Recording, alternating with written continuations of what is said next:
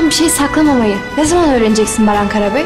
Karım işlerimi bozup başını derde sokmamayı öğrendiğinde. Her şeyi en ince detayına kadar düşündük. Planım aynı. Cevahir'i bitirmek. Cevher çok tehlikeli biri. Öyle geri gel. Ne eline ne de üstüne kan bulaşmasın.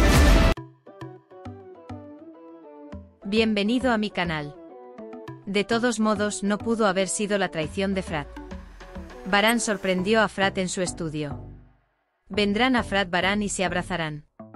En ese mismo momento, Dylan ve que Baran no está con él y baja para ver dónde está. Verá a Baran y Frat hablando amablemente e incluso riendo. Pensará en lo que está pasando. Probablemente pensará, me esforcé mucho y hicieron las paces. Pero cuando llegue a ellos, se dará cuenta de que en realidad no están enojados y que todo fue un juego. Dylan se sorprenderá mucho. El objetivo es hacer que Zebair confíe en Frat. Porque no se llevaba bien con Baran y quería ser el líder de la tribu Carabey. La pelea entre Baran y Frat también fue parte del juego. Baran estaba muy entristecido por lo que había experimentado Gul. Pero no había otra manera de derrotar a Zebair. Baran y Frat tendrán que compartirlo todo con Dylan.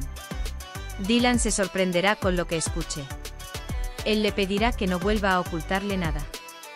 Baran también querrá que Dylan no vuelva a interferir en sus asuntos. Cuando Baran y Dylan llegan a un acuerdo, Frat empieza a pensar en cómo hacer que Gul lo perdone. Dylan ahora cooperará con su marido y Frat y encontrará la nueva ruta de envío. Baran asaltará el envío de Zebair. Hará evacuar los bienes de Zebair. Zebair se sentirá muy decepcionado cuando llegue a los camiones y vea que están vacíos. Cuando Baran y los Carabey vengan armados, Zebair se dará cuenta de que Baran lo ha engañado. Zebair dice que si no lo matan, no les dará paz. Creo que Zebair será salvado por su padre. Porque su padre predice que Zebair fracasará. Le quitará a Zebair a Baran. Pero Baran tendrá un nuevo enemigo. También será el padre de Zebair.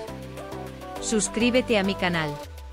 No olvides darle me gusta a mi vídeo y activar tus notificaciones. Adiós.